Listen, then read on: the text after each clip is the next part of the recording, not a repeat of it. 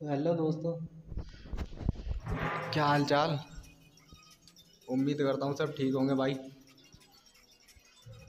ऊपर वाले से दुआ करूँगा, अगर नहीं ठीक हो तो ठीक हो जाओ। मज़ाक कर रहा हूँ यार। तो दोस्तों, हाजिर हुआ एक और नई वीडियो के साथ, नए डिज़ाइन के साथ।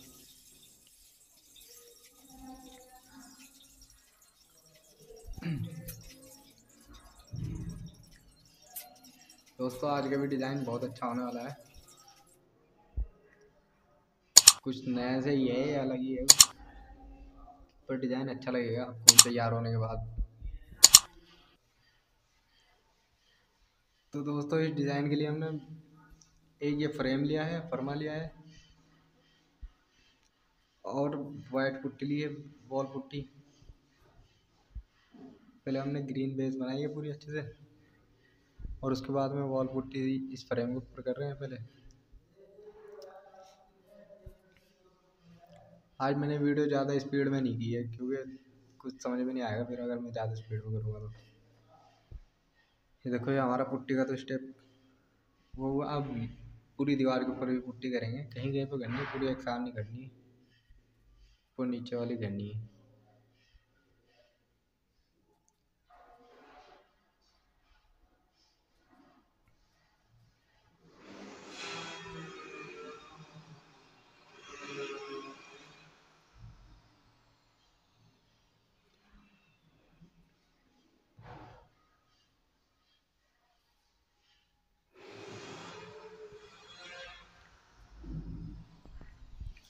कहीं कहीं पे आप ऐसे ऐसे ऐसे थोड़े थोड़े पुट्टी लगा के उसको ऊपर नीचे करोगे तो बहुत अच्छे से बन जाएगा डिज़ाइन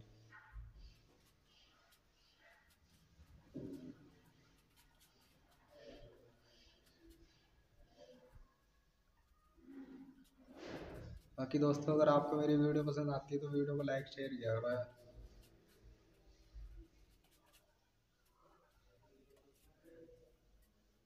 और अगर कोई वीडियो में आपको गलत लफ्ज़ लगता है, गलत मैं बोल रहा हूँ तो प्लीज़ उसके लिए माफ़ी, माफ़ कर देगा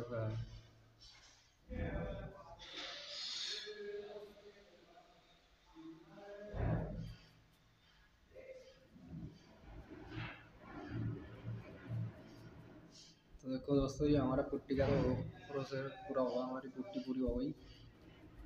अब इसके ऊपर डेढ़ सौ नंबर का वाटर प्रूफ ब्रेक मार लेना, वो मारना है। क्योंकि वॉल पुट्टी है, निकल जाएगी, आराम से निकल गई थी इससे।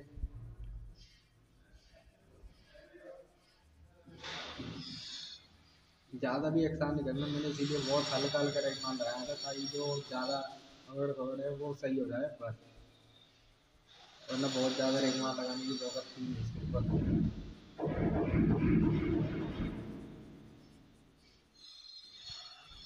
इसीलिए मैंने बहुत थोड़ा हल्का हल्का रेगमान लगाया।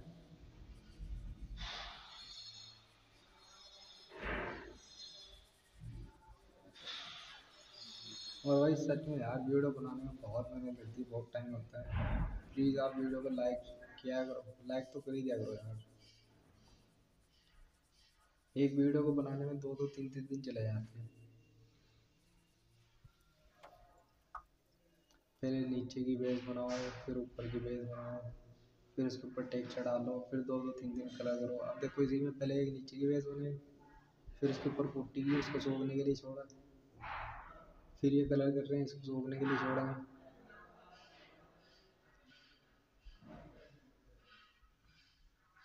तब जाके आगे होता काम शुरू होता है इसलिए बहुत टाइम लगता है यार। प्लीज़ आप वीडियो को लाइक शेयर करो।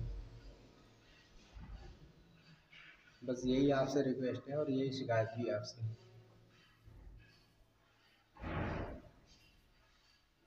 और उसके बाद ना हमें ये ये जो, सुनो ये मटेलिक मटेलिक का ये सिल्वर ना, वो वाला कर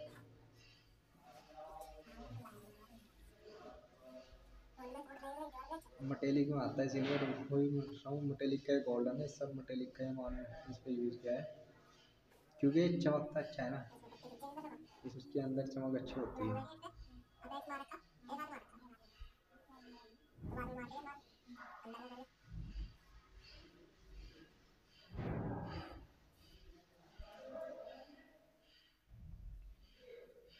इसका ब्लू का और सिल्वर का तो कुछ अलग ही कॉम्बिनेशन बना था आज। बहुत ही प्यारा कॉम्बिनेशन बनता है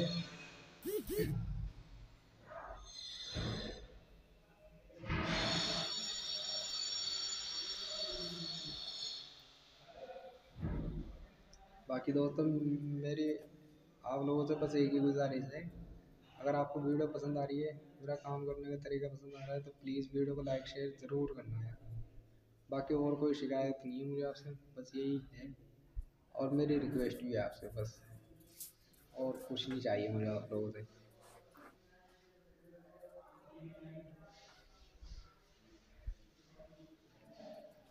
और थैंक यू सो मच यार, ये वीडियो यहाँ तक के देखने के लिए। उम्मीद करता हूँ कि वीडियो आपकी समझ में आई गई होगी। अभी इजीली आप घर पे बना सकते हो। और ये फॉर्म है मेरे हाथ में जिससे मैं लगा रहा हूँ ना, ये फॉर्म का एक छोटा सा पीस है।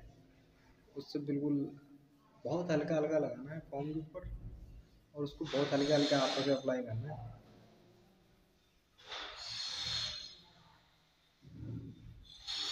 मैं इसके ऊपर पूरा गोल्डन भी कर सकता था, लेकिन खाली गोल्डन फिर अच्छा नहीं लगता, इसलिए मैंने सोचा कि ये दोनों तीनों कलर करते हैं तो काफ़ी अच्छा भी लग रहा था ये। ओके दोस्तों, मिलते हैं किसी नई वीडियो के साथ में, तब तक के लिए बाय बाय अपना ध्यान रखना। थैंक यू सो मच यहाँ तक की वीडियो देखने के लिए।